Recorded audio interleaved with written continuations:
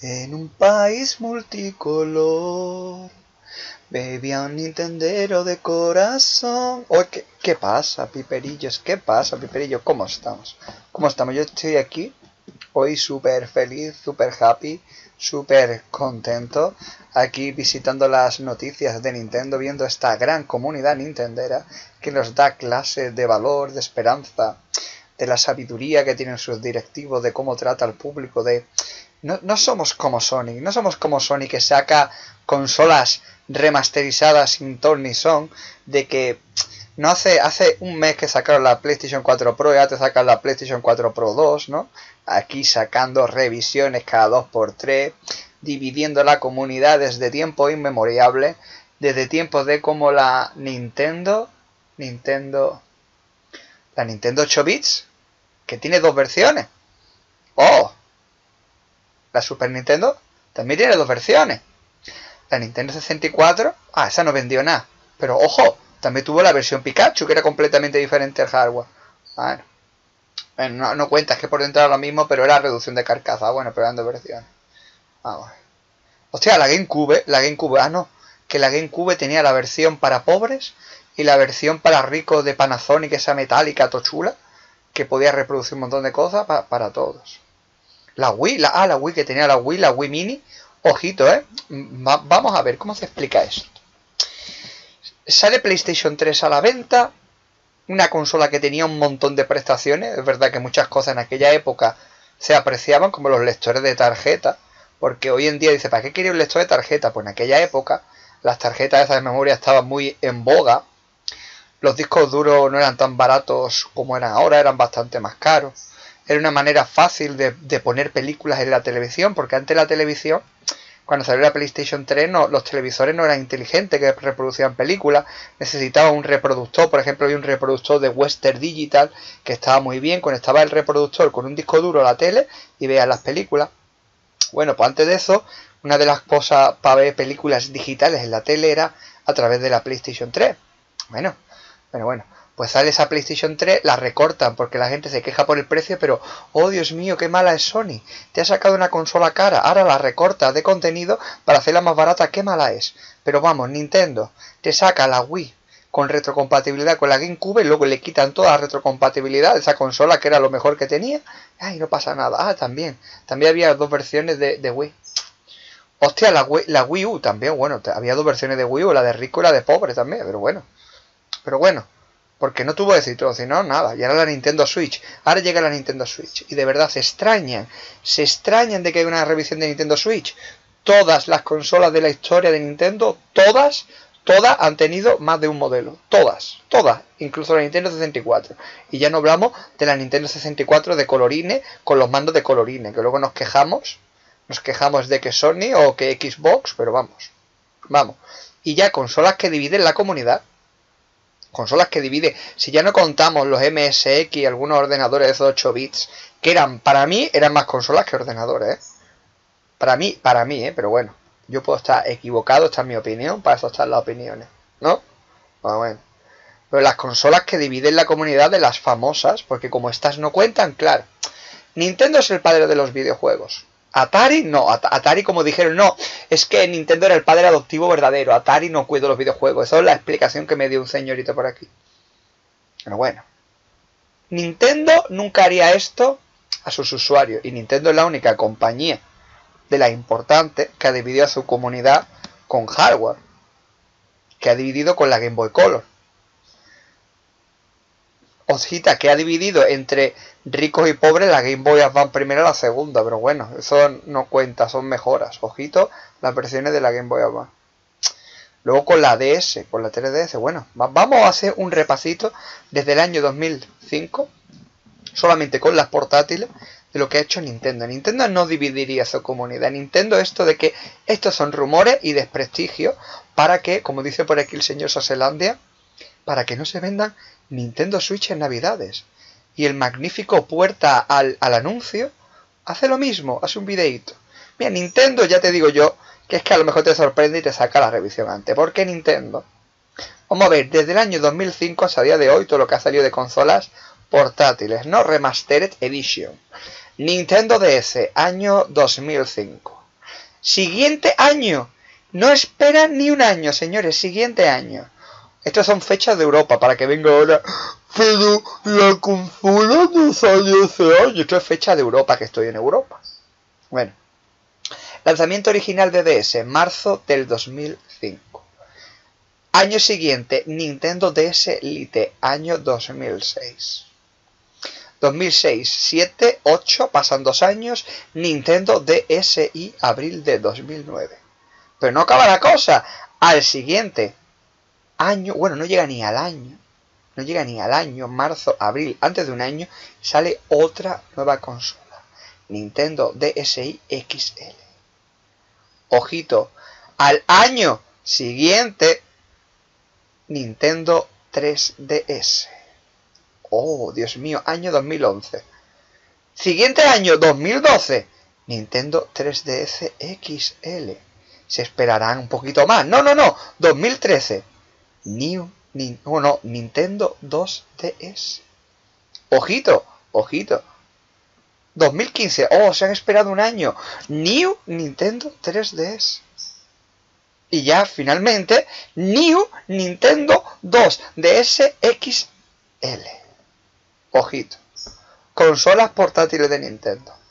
2005, 2006, 2009, 2010, 2011, 12, 13, 2015, 2017. 2017 sale New Nintendo 2DS y sale la Nintendo Sandwich.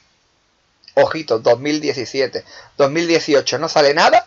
¿Qué toca en 2019? ¿Qué toca históricamente en 2019? ¿Qué toca 2019? ¿Qué toca? Nintendo Switch. ¿Será XL? Nintendo Switch XL, pantalla más grande.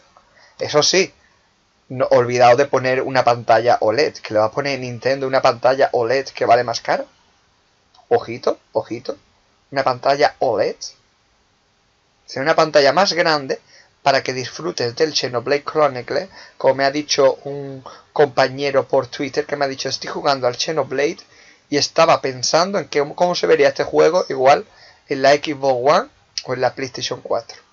Y se arrepentía viendo esos dientes de cierre, sobre todo en el modo portátil. Pero bueno, Nintendo ha revisado sus últimas portátiles casi cada dos años. Cada dos años o cada menos.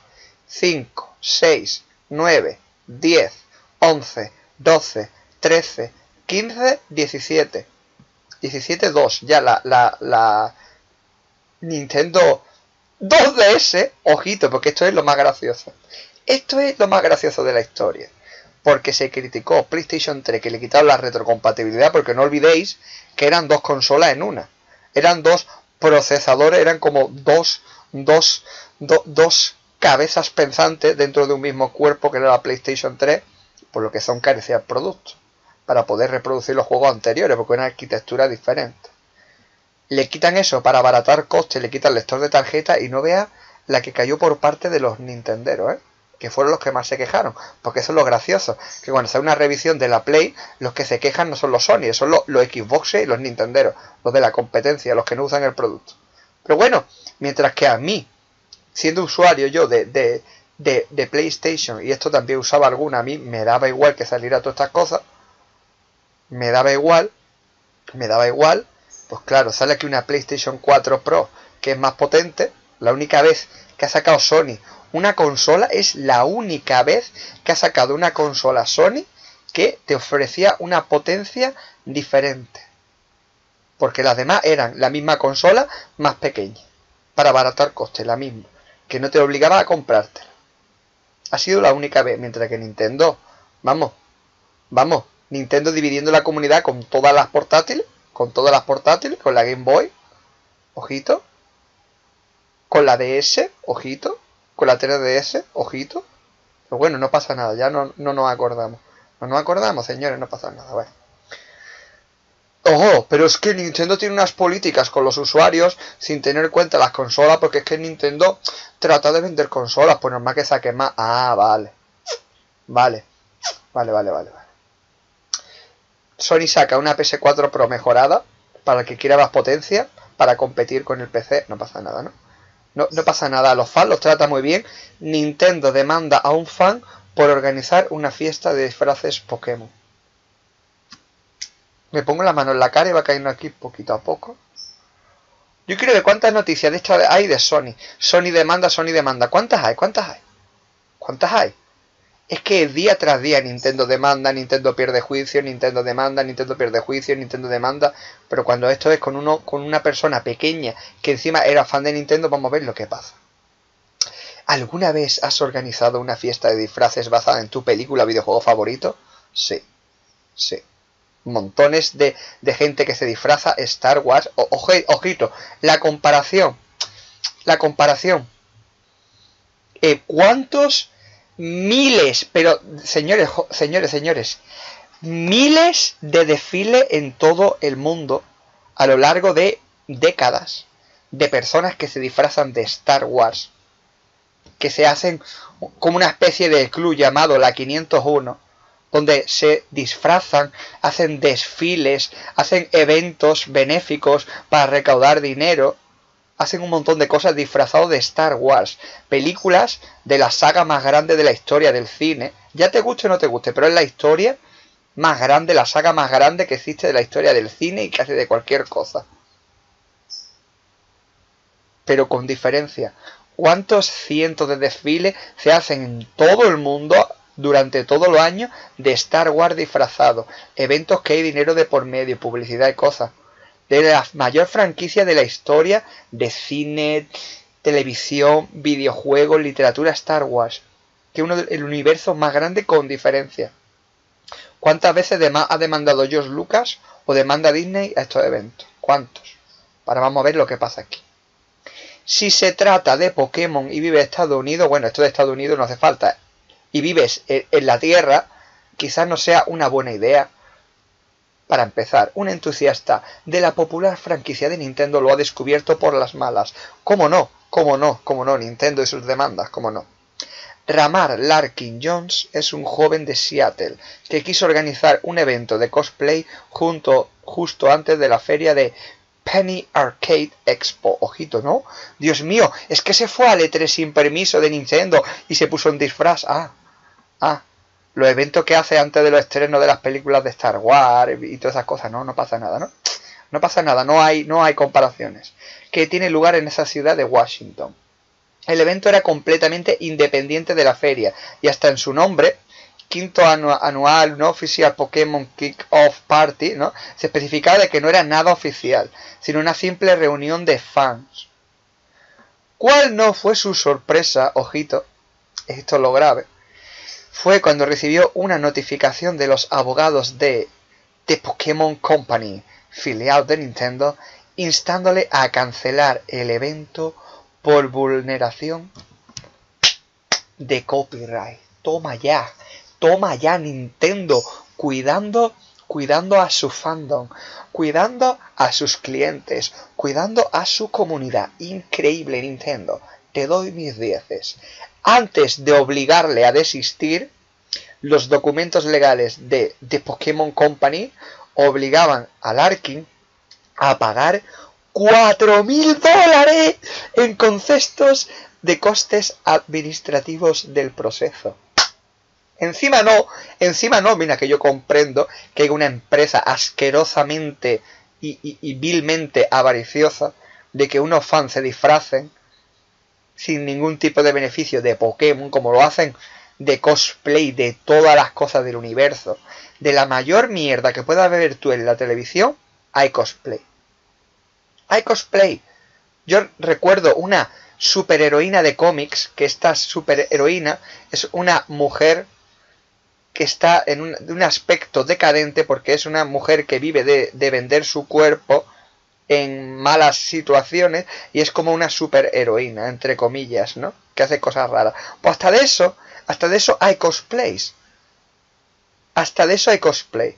Pues no, Nintendo no puede permitir que unos señores se disfracen de Pikachu, hagan un evento friki ahí, que no ganan nada, absolutamente nada, que ganan absolutamente nada, y le pidan que cancelado inmediatamente y 4.000 dólares de indemnización por los costes administrativos.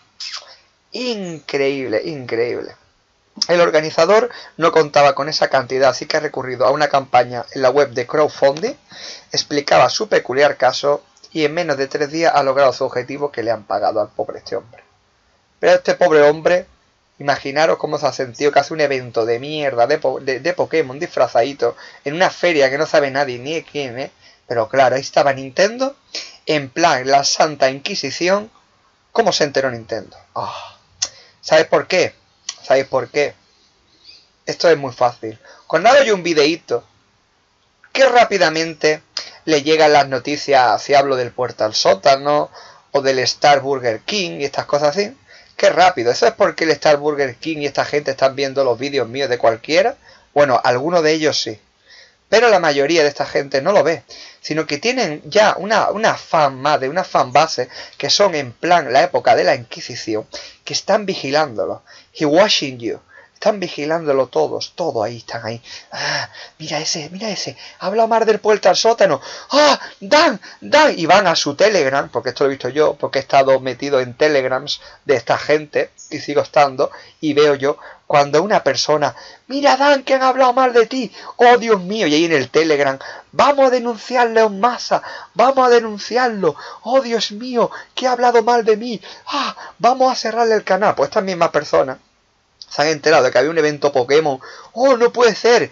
Nintendo va a perder dinero porque han usado un disfraz creado por ellos. No van a comprar el disfraz oficial que vende Nintendo. No se van a poner el colorete oficial de Nintendo. Las hojitas de Nintendo. Nintendo va a perder dinero. Nintendo no me va a sacar el nuevo Pokémon.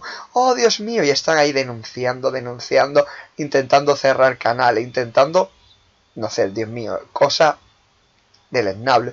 Oh, Pipero, pero es que esto es que ese tipo ya era reconocido porque Nintendo denuncia un servicio de car japonés. Alegan una violación de propiedad intelectual. Y aquí vemos el caso. Tienen un estos de cars. Y aquí para hacerlo gracioso le han puesto aquí un trajecito. Mira, suena la alarma. Un trajecito. Aquí como si fuera del, del Luigi, del Mario. Ojito, ¿no? Nintendo ha emitido un comunicado oficial en el que ha declarado que ha denunciado a Maricar.